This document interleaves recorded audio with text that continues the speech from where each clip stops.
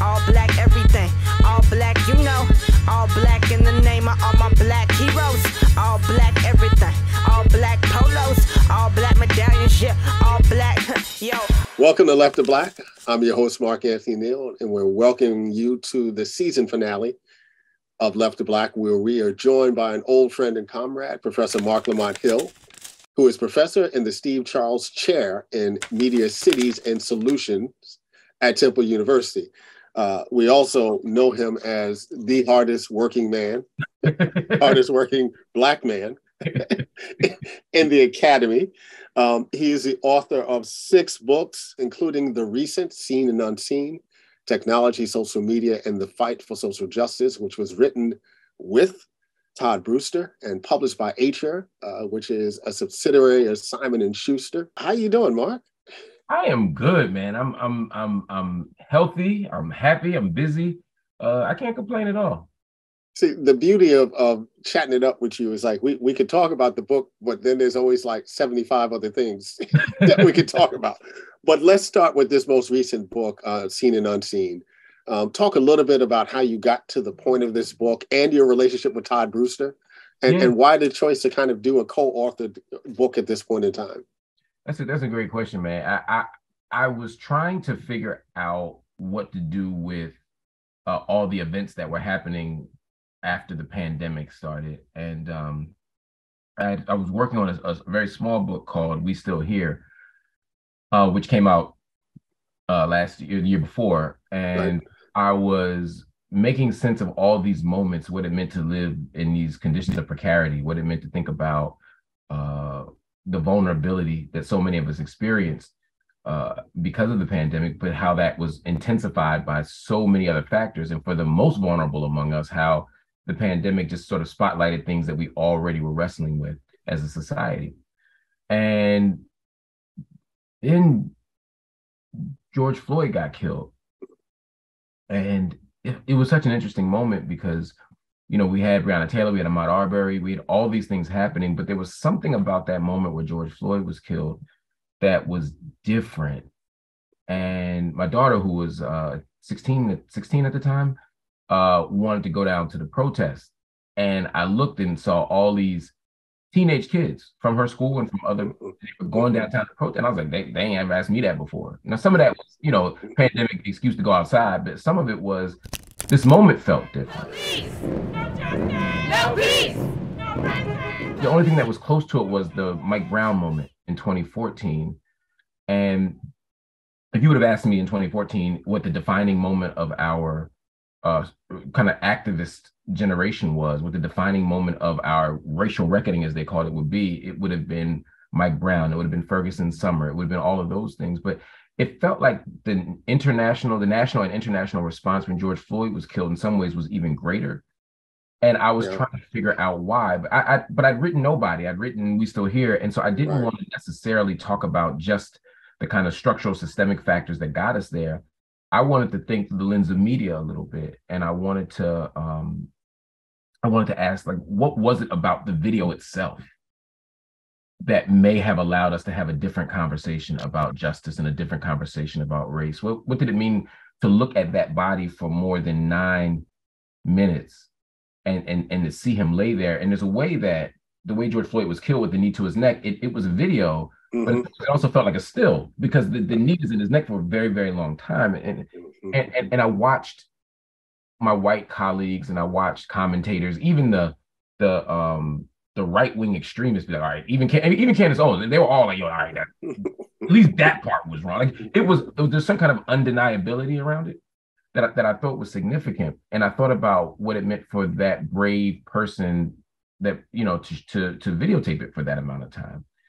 And and from there, I started to have these conversations with my, my good friend Todd Brewster, who's a historian and somebody uh, who, who I know really well.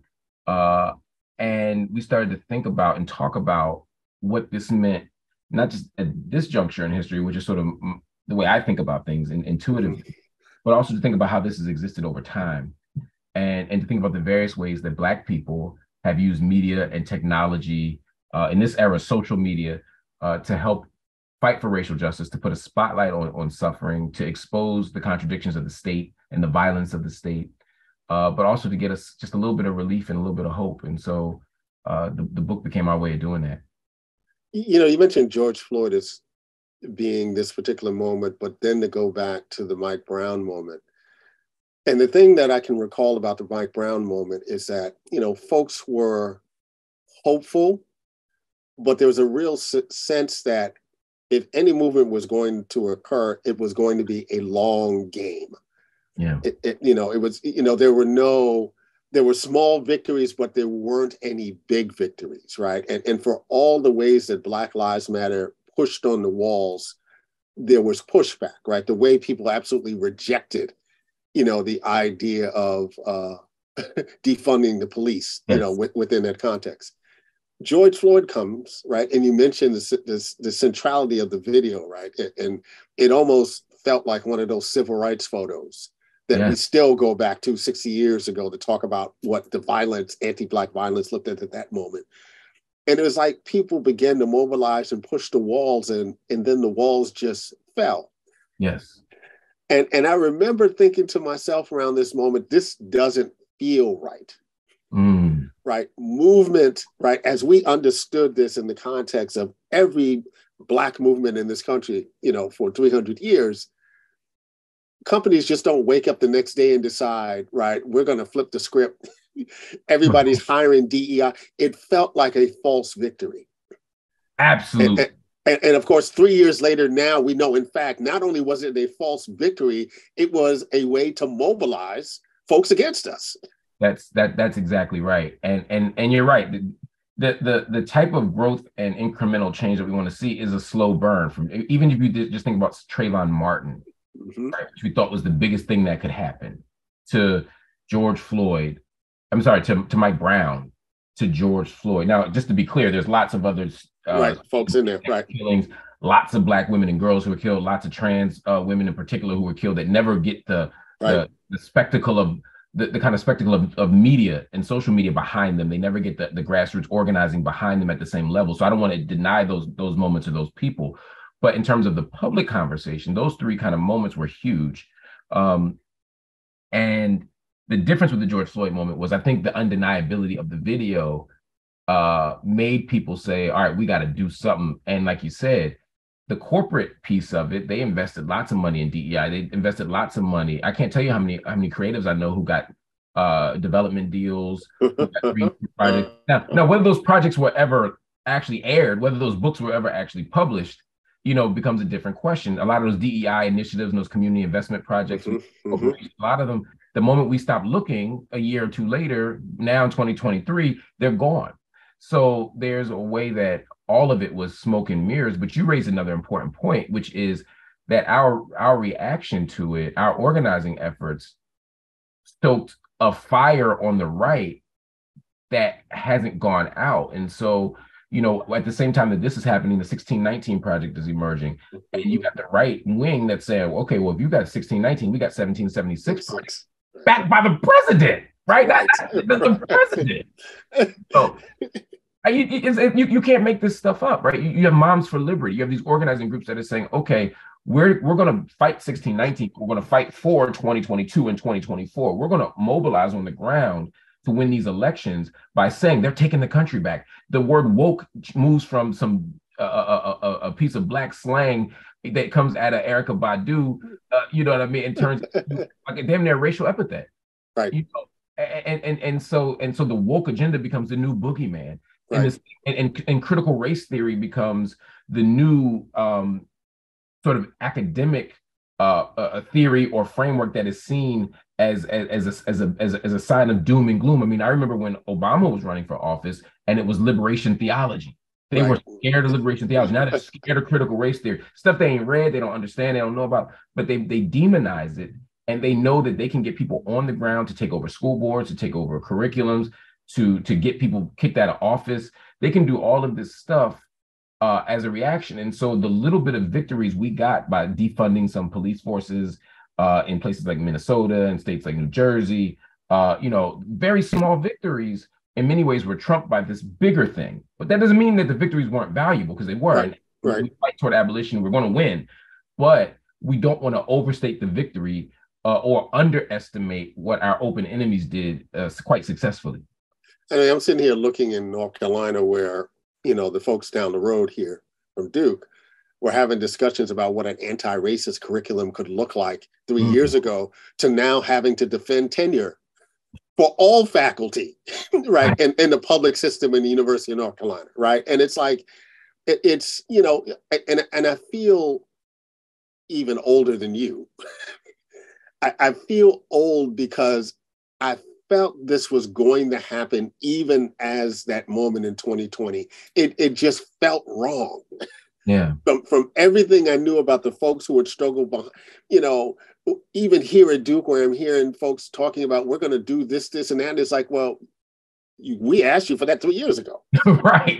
What's, right. what's different about this moment now than other moments? But let me ask you a related question. Right, we we live in a world of ideas, right? And and I'll get to the media piece with you in a moment. But we write books for a living, um, and and we write books that don't always get read, right? Mm-hmm. Um, the lesson we learn as academics that someone will find that book somewhere down the road, right? So the book never disappears, right? right? You know, the book will still matter.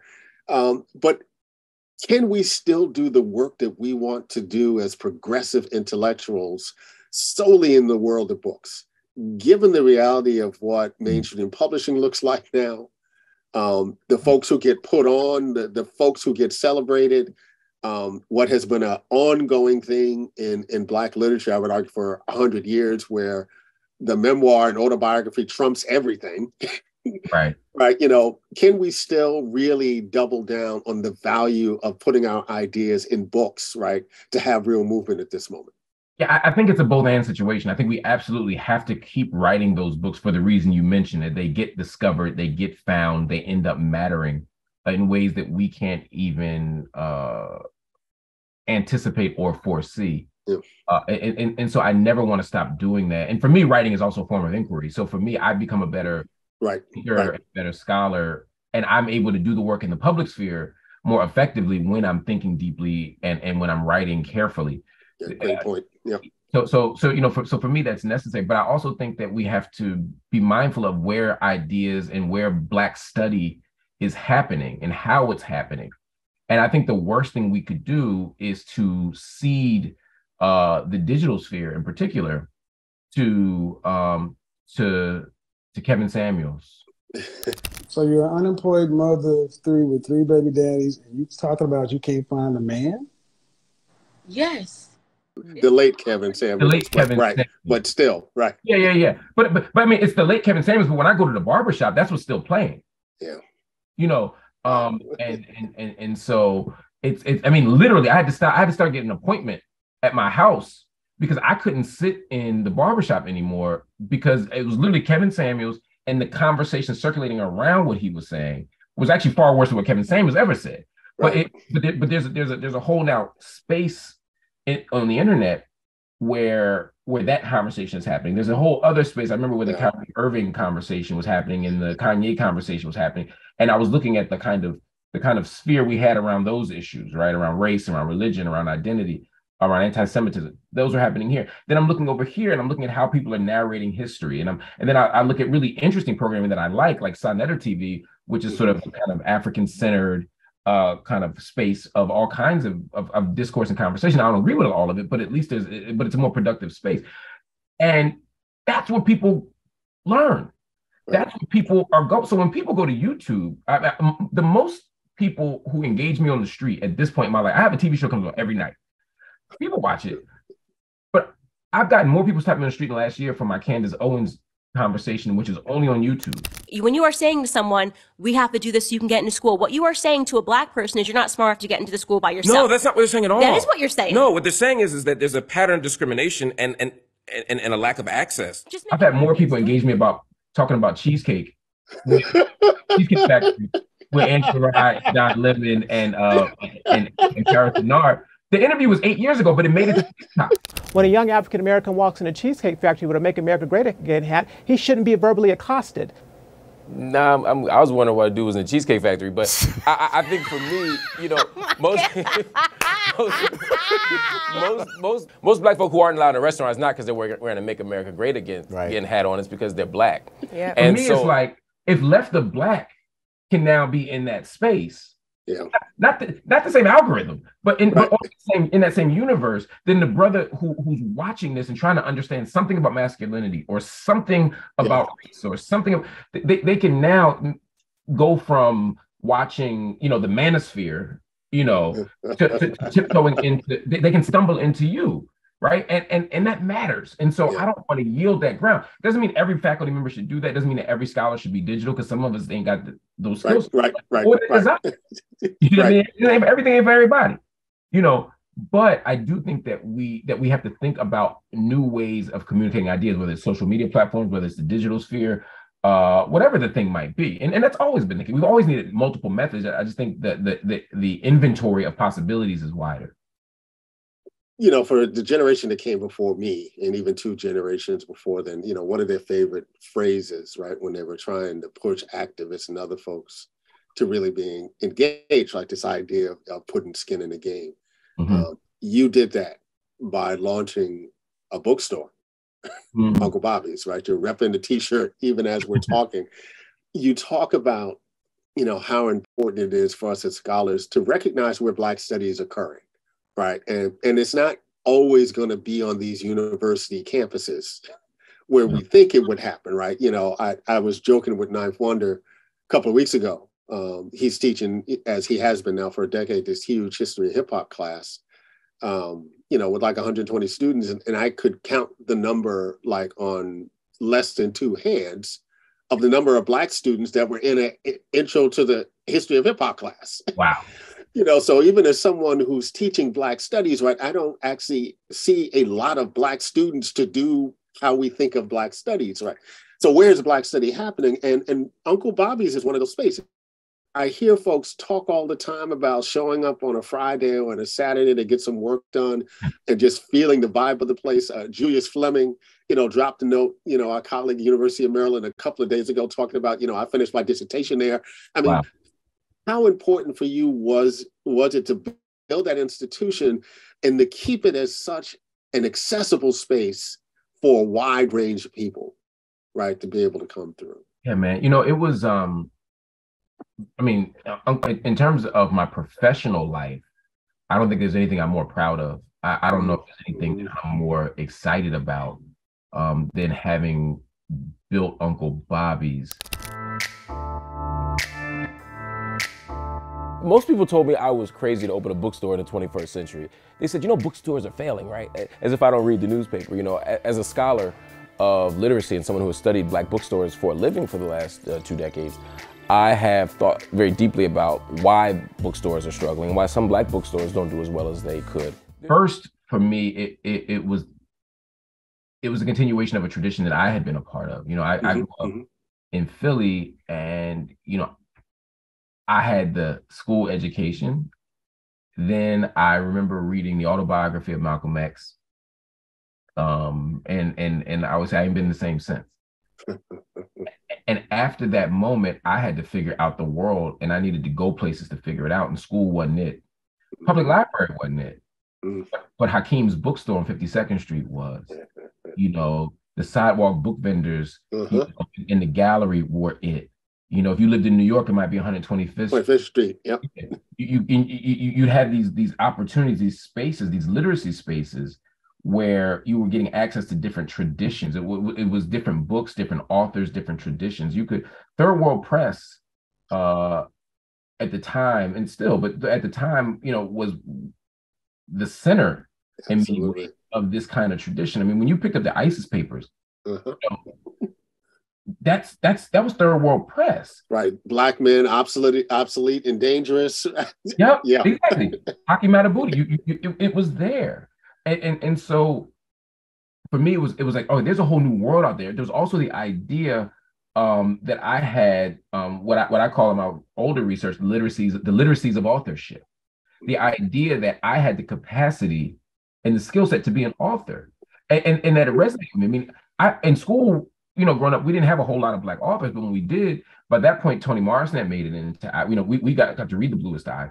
but and we got to read a little Baldwin, but I mean, these were Nobel Prize, Pulitzer Prize elite yeah. authors, right? But when I went to the black bookstore, I got to see folk who who who didn't go to those fancy places and who didn't have the the, the, the outside uh, world um, sort of sort of uh, validating them, and, and so I was able to really believe that I had something to offer as well. And they were just talking about these books were talking about stuff that I needed to understand. Then of course there was my uncle Bobby, right? Who when I went to his house, Ebony, Jet, Black Enterprise, right? Mm-hmm. There was a way that I again had access to writing traditions, publishing traditions, black ideas, black authors, black stories that I just didn't know about before. And even it, it even also ties back to the conversation about um, about George Floyd because those magazines also were our first social media. I've heard, I mean, I mean, Emmett Till, his face on the cover of Jet magazine was what resonated with so many black folk. Right. That was the social media. I've heard you talk about flyers being the social media of the day at one at one right. point. These were the things that transmitted ideas. You knew, you know, shout out to E. Franklin Frazier. I mean, you you understood the black bourgeoisie's sort of uh, uh, successes. However, you know, the, however you think about that, from Jet Magazine, you find out who got promoted, who got a job, who got married, right? Right. Everyone in America, all, all of it. You found out. So those those traditions meant something, and so when I got to a place where I had some resources, I said, I want to build something that will do for somebody else, that next generation, what was done for me. And maybe I can think about it in a way that will even advance our project forward. So that meant to me building the bookstore, but also thinking, what does it mean to have a serious gender studies section? You know, to, to have, you know, to have children's books, a, a full children's section that has our hair coming out of our head naturally on the cover. Yeah, yeah, yeah. You know, just just things that we that we may have wanted to do 50 years ago, but either they weren't the, the books weren't there, or some of the ideas weren't there. Right? What does it mean to have a, a section that takes seriously trans lives? Mm-hmm, mm-hmm. To take what do to have a section? Uh, I mean, there's no greater joy than when you put together a bookstore. If you're a book nerd, than to be able to one pick the sections of the books, right, of, of the store. Like, oh, I can have a I can have an anti-colonial section. It's like, Mark, it's your story. You can have whatever. You, so it's like, it's like, wait, I, so I can have a resistance section. And then what goes in those places, what goes in those things is amazing, right? And and to say I'm going to put five, ten, whatever, twenty thousand books in the store and get to pick the books, that shit was amazing. It was, it, it, it was one of the greatest joys of, of life. Um, and to say that this will be so this will be a place where these ideas exist and live and these authors can live and you know, if, if, you've been on book tour, you know, sometimes you get a, a place with 500 people, sometimes you get a place with five people. Right. But to say that I don't want my bookstore to only be the place where the, the New York Times bestsellers come, but that somebody can come here, right? right. You know, and, and write an amazing book on Paul Robeson, right? As Professor Redmond did, right? And be like, yo, like, the, the people who showed up loved it, and it was bomb. It was great. The book was amazing, and the conversation was amazing. And so, but we can also, so but we can also have the big authors. But when they come, we're gonna ask you some different questions, right? You know, and then to say, um, this is going to be a place of political education. You know, we did a Palestine teaching. We do a Bell Hook symposium. Um, we, we started one. Uh, the first one was past September. You were there. Yeah, right. The Malcolm X before the pandemic, right? Yep. We've had we, we have our seventh one uh, uh, in a few days from the, from the time of this recording. Uh, you know, and we got people from all over coming um, to to to to talk about Malcolm and and again to talk about Malcolm differently. It's it's a, right. we, right. Do a, we do an MLK symposium. So um, and so being able to have these different kinds of conversations.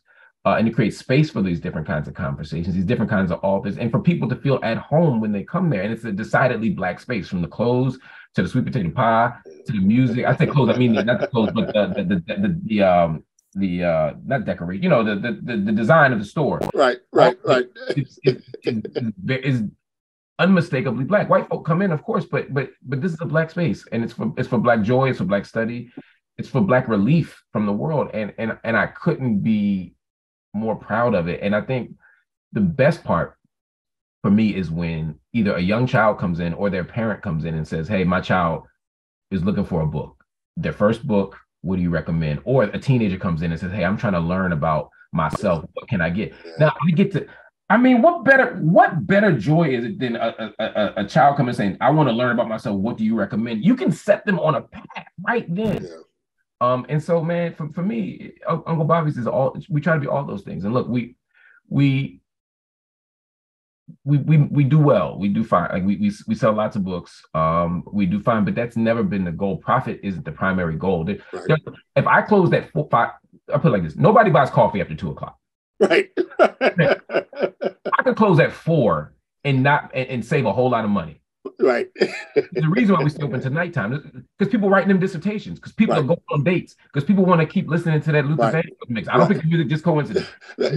Dudes want to get a couple of like an hour or two in the bookstore before they actually got to go home. Exactly. so they go to the books. exactly. Myself included. You know. So so so it's like all of us are trying to you know create this space, and so for me it was like it, this space is more than profit. You know, when the pandemic hit I'll tell you something. Uh, we had to close our doors because of the pandemic. It was just it was just being responsible. But we were able to start selling books online. Uh, and we have an online website. And and after George Floyd was killed, we sold more books in the next two each of the, each of the next two months. We sold more books in each of those months than we had sold the prior year. Um, and it was almost all white people buying books on right, race. Right, right. Almost everybody was buying racial fragility. Almost everybody was buying um, Ta-Nehisi Coates. Almost everybody was buying Ibram Kendi. Right. Um, and I don't, I don't know if they read them. Uh, but, but then white people was buying books. But I mean, you could. It, it, it, was amazing. You you. I've never seen anything like it, man. I've never seen anything like it. Marc, you have been. You know, we talk about folks being a public intellectual, and there've been lots of great examples, right? I, I was raised uh, as a scholar, right, on the generation of, of our friend Michael Dyson, Bell Hooks, Manning Marable, Patricia Williams, that whole generation, Cornel West, that whole generation of folks, right? You're, you're like that generation 2.0. And you have always been visible in mainstream corporate media now for 15 plus years and very different in unique spaces, right? We could, you know, BET consistently, we can talk about those Fox years, and I'm gonna ask you about Fox in a moment, right? But even now, you know, folks can catch you on a regular basis, either on the Grio. Some of them folk gonna say, "Well, His grace is sufficient. You don't need our check." Listen. when a black woman go listen, I know.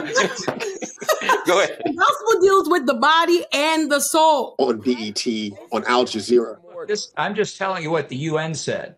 You can believe the UN or not believe the UN. Well, I'm quoting evidence of the inspectors who very clearly said that weapons uh, of mass destruction, there was no evidence, excuse me, of chemical or biological weapons. And, and, and the thing that's remarkable about, you know, how you function in these spaces, you're really different to, to recognize what the different audiences are, right? There, there's a kind of hard hitting quality, for instance, about your appearances on Al Jazeera that wouldn't translate, both in terms of who you're talking to yeah. and what the conversation is like, right? That just wouldn't translate to the Grio, right? Yeah. But with the Grio, it's something that's a little bit more familiar, right? It's that choice. You know, it's it's eight o'clock. Let's invite Marc Lamont Hill into the into the living room because he's our people, right? So it's it's that kind of vibe. How has it been for you to be able to sustain that kind of visibility for so long, right? Because you know it's not sustainable, right? We know this all the time. Folks take these high pro- profile gigs at these places, Don Lemon, right, and then it's over, right? Yeah. I think about how you know the homie Rodney Carmichael and the great work they were doing with um you know the hip hop podcast and NPR and it's like and the and the plug gets pulled right so that stuff is never sustainable but you've always managed to land on your feet somewhere what what has that been like it's it's been a uh the most unexpected of journeys. I I met you 20 years ago, a little more than 20 years ago. Oh my God. And uh the time be moving, man. um and when I was in grad school, man, I just I just wanted to write. I just wanted to write a column. My dream was to have was to have a regular column in a newspaper. and to occasionally be able to place some op-eds uh, in like the New York Times and things like that, which I still have never done, right? But but it's it's a, that's on the that's on the bucket list. But it was like I want to be able to write good stuff um, in public. That's all I wanted. And so when we met, and you were writing for Pop PopMatters.com, I was like, "Yo, that's my life right there." I was like, "Wait, they all I gotta do is write, I, I write reviews, and they send me the album."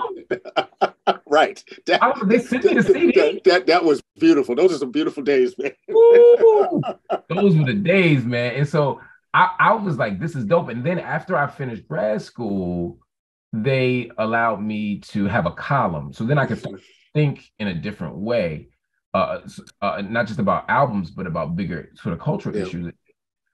And, and it, it really kind of grew from there. You know, I, I when the whole lacrosse scandal happened at Duke, uh, that was my first CNN appearance, my first TV appearance. Uh, Hmm. outside of I did some cable access in Brooklyn at a show called uh, Black Men Screaming. Hello, welcome to another edition of Black Men Screaming.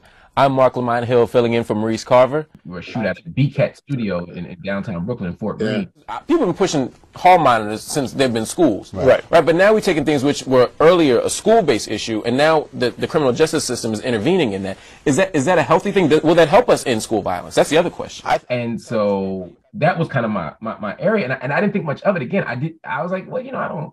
This isn't really my thing. And I was like, all right, being a commentator is kind of cool.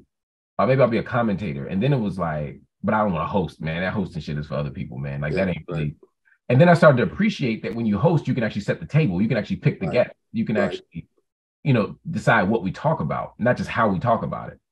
Um, and and I got really excited about it, and it, and it and it grew organically. And so I was sort of learning the lessons of the business as I was doing it. I didn't know what I was doing. I took the job at Fox um, because I kept going on every week kicking Bill O'Reilly's ass in debates. I don't want special things from President Obama because he's black. I want special things from him because I'm because I'm a citizen and because I voted for him. Okay, everybody's but- but- entitled to that. Fine, but you, And I was like, well, shit, you know, y- y'all, y'all, y'all paying. Like, I can't get a job. There's a, you want to work here?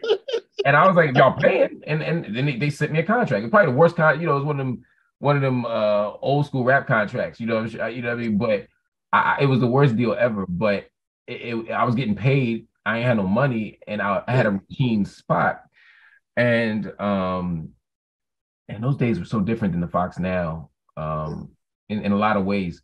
Uh, but I thought that was just going to be my career, that I would just hang there and eventually give me a Hannity and Colmes type show and I would debate the Republicans and win. And it was very naive. Um, and, and it wasn't until much later I realized that, I mean, they they play to win. Their goal, Yeah. you know, Roger Ailes, before he died, said to me, you know, he, he said, look, our job is to have pretty people argue. That's what we do, right? Mhm. And that is true, right? That is that is their model. That was Mhm. Fox, you know. Um, but they also wanted to make sure that they were a mouthpiece for the Republican Party. And the reason they fired me at Fox was because I mean they told me you're winning too many debates. like you're winning too much. Not against O'Reilly, but against everybody else. You know, because Bill O'Reilly has his own style. Not that, it's not it's not that I wasn't holding my own against O'Reilly, but you know, Bill. For us, it wasn't about the the winner or loser. It was about hashing out these issues. You know, Right. And he's so arrogant and, and, and confident in himself that you know he did even if he lost he didn't lose so he didn't care but Right. Right. Right. Right. like yo like this is pro wrestling and you know I, I you know you're supposed to come down here on Saturday morning and get mopped and get you know and, and, and, you know and, and, and get and get pinned in, in, in 30 seconds here man you're El Conquistador right you know and, and and and instead you're fighting back and winning and this doesn't work for us right and so ultimately uh that didn't work and it's at that point that I realized that the key to longevity in the business, the key to always having a job or always having the next thing, it, it is is leaving money on the table and prioritizing your flexibility. Ability. Yeah. And that's Yeah. what Nick that's what Nick Cannon uh, taught me. Yeah. Uh, I'm sure there's a joke in there. I'm too lazy to make it. but, but what Nick said to me, he- you know, he said leave money on the table, but always have the option of do, doing multiple things. So I, when I was at HuffPost, you know, I, also was able to do BET and CNN, you know, and Black Enterprise. And, and, and so when Black Enterprise left, I still had BET and CNN. And then when CNN Right. eventually ended, I, that was the only time where I didn't have any media jobs. Like, no, I, I still had BET. And then I moved over to Black News Channel. But I was I always had one or two things as an anchor. Um, but I was always unafraid to create my own thing too, like you know, the podcast, like coffee Right. and books, those things. I wasn't afraid to do that, which was also helpful. Um, but it's but it's been a journey. I, I've come to uh, assume that if I am on a platform long enough, they're going to fire me. Yeah. Right. I, I just assume that. I just assume if, if, I, if I work there, they're, they're they're going to fire me, and and that's okay because if I'm working somewhere long enough, doing the political work that I do, Mhm. Mm-hmm. If, if they ain't, if, if if I'm doing it right, they shouldn't be comfortable with me. Now BET is different because BET is family, and you know I don't do what I do there is I anchor. You know, I anchor. I'm, I'm sort of the dead Negro correspondent at time. You know, you know I do every black person funeral for the last ten years. And, and, but it's a blessing in a way. As, as sad as I'm about the deaths, it's a blessing to know that black people trust me to help right, that right. person home when Aretha passes or when Michael Jackson passes, to be there when Kobe Bryant passed, which was probably the toughest one for me personally. You know, to be able to to anchor their funerals and talk about who they are and help black people who are sitting at home um, kind of watch that person go on to glory. That, that that's a beautiful thing. So I don't. So BET is not a controversial job for me, but the other ones are very different. Um, I, I have a I have different. I mean, you know me, so you know I I got different personalities, different sides, different you know different things. Um, and so when I'm when I when if I can talk trash on, on the Grio Black News Channel, that's that's me. That's who I. That's legitimately who I am. Like, I talk shit and I laugh and I'm ridiculous. But when I'm at Al Jazeera and I'm pressing a, a doing an accountability interview with with a uh, with the president of of a country, mm-hmm. uh, that's also me. You know, mm-hmm. but and I want to exercise that muscle, and I love doing serious, hardcore international journalism. But black people are dying every day, and I couldn't I couldn't ignore those stories right. to just focus on uh, the TPLF in Eritrea or or in Ethiopia, or, or, or to focus on you know racism in in in Holland. I mean, those are things that I care about. Right. Um, and so for me, it's either I choose one of these lanes, or I say, you know what, I'm just trying to do all of it. Um, as I get older, doing all of it is is is more exhausting and less uh less doable.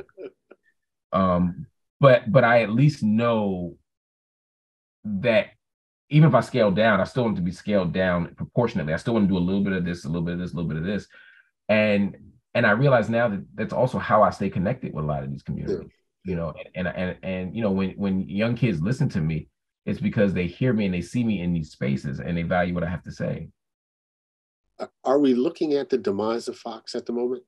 Yeah, yeah, yeah. I think I I, I think so. Um, I think I think so. I think that um, Fox will be rebuilt as something else. Mm-hmm. And it may not be within the News Corp entity. In other words, it might be News Nation might be the next big monster. It might be that the the other one that O um the other the other one the real extreme uh right O in it whatever it is O A in it whatever it is they, they might be that one. Uh, but Fox right now has several issues, right? Uh, I, I, always say Fox is to news what's what the WWF in our day and WWE now what is to to sports, right? Is that it's it's not news, it's news adjacent, it's a performance. Right, right. But there are these moments in wrestling where you break character, you break kayfabe. You know, when when the when you know when two wrestlers who are supposed to be enemies of each other uh end up in, in caught in a car with cocaine like they did in the 80s, you know, it's like, oh wait, they can't be, you know, you, start to think about it differently, right? When Tucker Carlson said, I hate Donald Trump. Right. Right. Now the audience is like, oh wait, this is this this isn't real. Yeah, right. We infiltrating capitals and, and, and going to jail for people who actually don't believe in it. Right. They don't believe in this. they know wrestling ain't real. You know, we but we did. And, and and so I think with that coming off, I think with the biggest talent on the network, um, being vulnerable over the last years and leaving. I mean, you got Megyn Kelly was a huge star, Bill O'Reilly, the biggest star, Tucker Carlson now gone. With these names gone, at some point, I know people like to believe that Fox is the system and you, you, they can just keep plugging new people in. And to some degree, to some extent, that's true. They'll, they'll always have a couple million people watching, but the type of power and influence over politics will fade. And once Rupert Murdoch is completely off the scene, um, right. which is inevitable for everybody, right. um, I, I, think Fox will die away and become something else, and then I think another entity will ultimately take it over. So I don't want people to assume that the giant is dead, right. um, but but Fox won't be and can't be what it has been. It's been a hell of a run. How do you feel about Fox? I mean, it's been a. I mean, it changed uh, news coverage. I mean, CNN became this other thing because it had to compete yes. with, with yes. Fox. Even MSNBC became this other thing. Yes, because it had to compete with Fox um, let's go back. You know, you mentioned you joked about being, you know, kind of like the the news reporter for morning at BET, the host, you know, for morning for funerals. Um, the late great uh, uh, Harry Belafonte.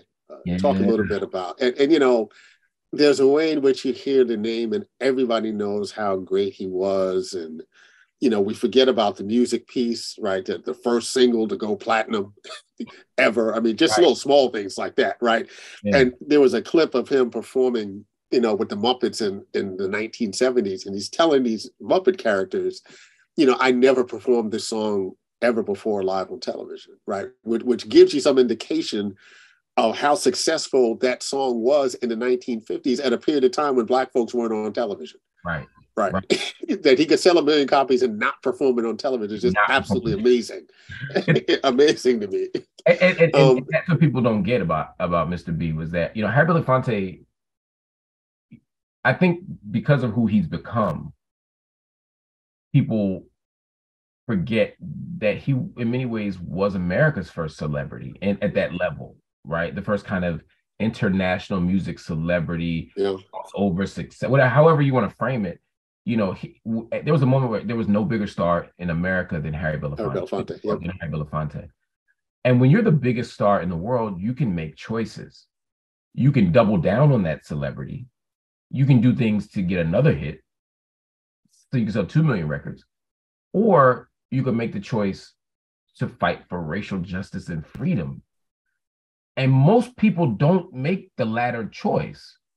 You know, most people don't. It's like it's like most most people don't go back to making gospel records to the R and B and soul career is over, right? most people don't at the peak. I mean, I mean, think about Aretha, right? Like like most people don't at their you know at a moment where they could still make this, do that. Right, right. That's the extraordinary part. When you say I can still do this, but I'm gonna do this anyway because I want to.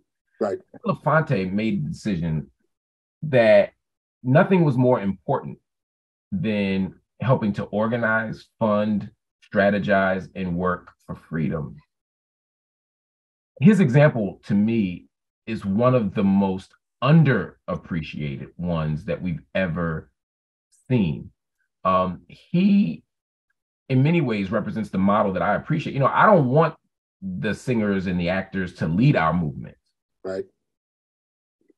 And Harry didn't want to lead the movement but he was engaged with the leaders of the movement. Right. And, and when they needed money, when they needed support, when they needed advice, when they needed friendship, when they needed networks, when they needed, you know, protection, he was there to provide all of that or to help facilitate those things, right? He used the best tools that he had. He used his power and his platform and his privilege for those purposes. That to me is the extraordinary part about Harry Belafonte because he didn't have to. And in fact, not only did he not have to, but he did it at tremendous cost to himself. And right. it, he made sacrifices that people don't appreciate. And so, you know, now, you know, it's like, oh, he's the giant of civil rights, he's our human rights icon. And that's all true. There's no one more consistent, more, more generous, more humble, more beautiful than Mr. B.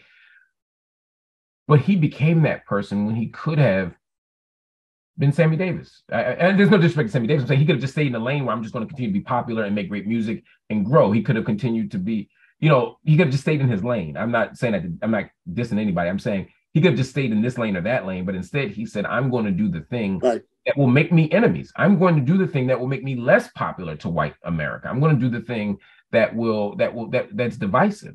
You know, the, the, the banana boat song ain't divisive, but saying we're going to fight for the Voting Rights Act, that is divisive. Saying we're going to stand in solidarity with South Africa, that is divisive. And he did it anyway because it needed to be done. And, and so um, when I heard about his passing, you know, it was much like when my father passed a couple of years ago. It's like my father passed at 91.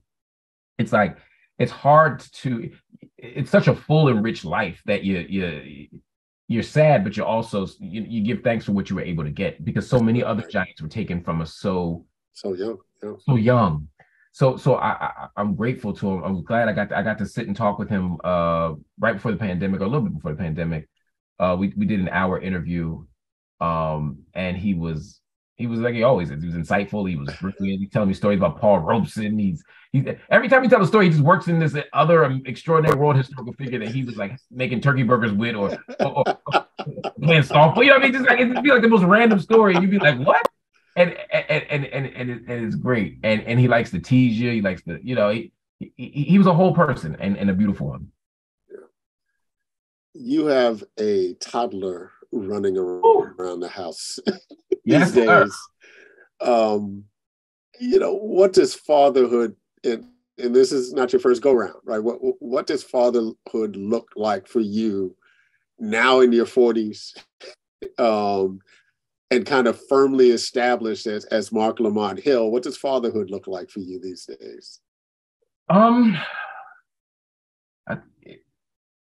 it's a young man's sport, man. Because I, I, think about it in this context, right? You know, and I always have to translate this to my daughters, right, who are, are 20 and 24. Um, you know, when they were young, I didn't have no money.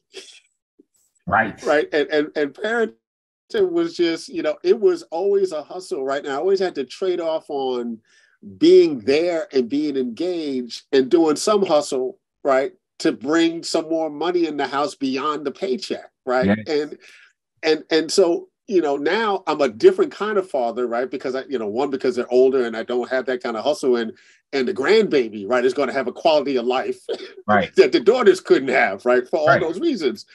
Um, you're still relatively young right? But you know what does fatherhood look like like in the context of all of that? Yeah yeah yeah. You, you, you know it, it's different you're exactly right. So when my when my when, when the baby girl was born and i remember it's just so crazy. I remember literally holding her as a infant at the University of Pennsylvania. You were there. We were sitting there. Oh yeah, yeah, I, mean, I remember. right. I mean, it's it's crazy. She's finishing her freshman year at college, you know, and when you know, as that came, yeah, you're right. I was in my twenties. I was figuring life out.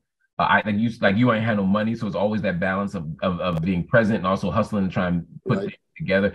And I was my I wasn't established as me, and I was and so eh, her childhood and her growing up was also watching me become me. Yeah, yeah, right? yeah, yeah. And she's becoming her. I'm becoming this me in the public yeah. sphere.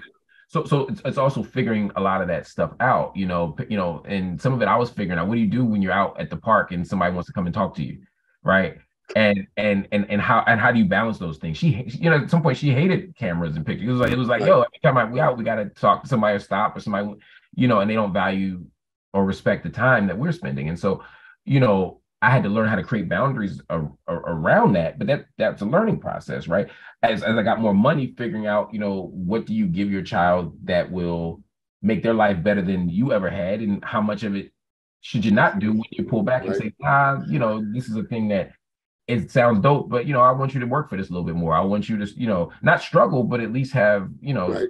a, a different, you know, some kind of um the, what you want to do is is, is create the, a certain kind of experience for your kids and and it's always a struggle to figure out what the proper balance is. Um and over time I mean, you know she's a wonderful child and, and it's been great uh and she's now a wonderful adult. And but it, but you know I, I now at at almost 45 have some I can't believe you just said that right? You're, I know. you're almost 45 it, it, it, it's just nuts because it's like I'm at the stage where I'm I'm still relatively young, but also like I'm not 22 year old that was trying to write Pop Matters article, right? And I got gray hair, and you know I'm I'm figuring it out. And so now I have perspective uh, as as a, as a, as a father. Again, I have perspective. Uh, I understand how fast everything goes, so I look at time differently. Um, I have more resources, so I can get the kind of help that means I don't have to choose between this and that. Right. Um, I, you know, um, I, uh, but my back be hurting, man. It's young man sport. I don't care what nobody say. You know, you, you you saw me right before we started recording. I had the boy uh, in, on my lap, and it's like, you know, he's heavy, and it's cool. but at 3 a.m., he's heavy. You know, and I I used to get injured playing sports. Now I get injured just getting out this chair. and, so there's a way that I don't have the physical energy that I used to. I still have energy, but not the physical energy that right, I need. Right. Um, but I have more wisdom. I have more patience, um, and things like that. And my father was 50 when I was born. So yeah. now I have a whole lot more appreciation and respect. What sometimes I used to be like, you don't play catch with me. Now, like guys, I get it. I mean, he he played catch, just not as much as I would have liked. Once, right, right. But now I'm like, right now I'm like, well, he was like 60 when we were when I was asking. I was 10. He was like mm-hmm. 60. 60. he didn't want to play play catch. He's like, we watch this baseball game on TV.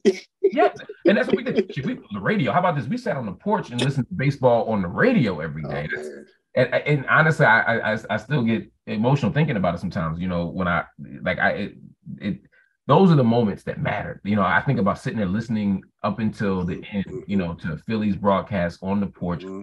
on radio, and how I want to replicate those experiences. Yeah. Just like I replicated them for my daughter. You know, I want to replicate them for the boy and say my son the same way. Like, you know, like how do we create these experiences that are rich and that are wonderful and that don't cost money? Yeah. Marc, it is always great talking with you. I, I wish we could do it more in person. I know, So, I know, so, so, I know. so we can so we can cut up a little more. yes, exactly, exactly. This is Left of Black. We've been joined today by Marc Lamont Hill, professor and the Steve Charles Chair in Media Cities and Solution at Temple University. Uh, check him out on the Grio, on BET, on Al Jazeera. Go check out Uncle Bobbie's, the bookstore, right? Get your latte and get your black knowledge on. Um, thank you for joining us today, Marc. Love you, man. Love you too. Black lights and burn when I record for Watts. And every black like Troy Davis who never had a fair shot. All black, everything, everything black. Culture over everything, y'all. We taking it back. Black.